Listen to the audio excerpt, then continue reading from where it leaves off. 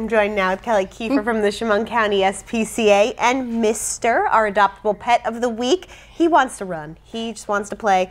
Yes, he. We're trying to keep him calm. We're trying to keep him in the seat for just a moment. But let me tell you, this is Mister, and he's two and a half years old. He's a Virgo.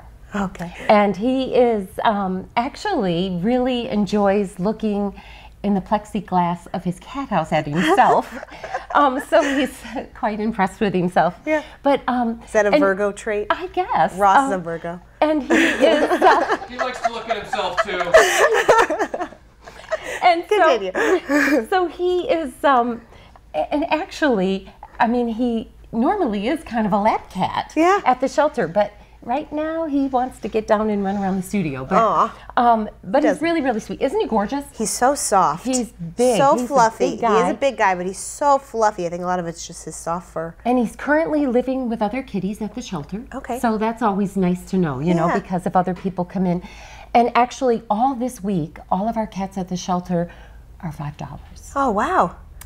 Yeah. Five dog Yeah. cats. Go, so um, go check out is- the cats. This is getting, getting to be a busy time at shelters. Um, it'll be coming into the kitten season. Okay. Um, and so our adult cats need homes too. So um, he's only two and a half, and he's really a nice guy. Aww. And he settles down nicely once he kind of feels comfortable and familiar with a place. So now he looks sleepy. yeah, so I mean, he really is sweet. So if you're looking for just a nice, big, cuddly cat, um, and he's playful too. Yeah. Um, come on in and meet this guy. He's really cool. Now, uh, Popovich Pet Theater. Yes. Coming up this Friday. Yes, this Friday at the Clemens Center. Uh, tickets are still available, 7 p.m.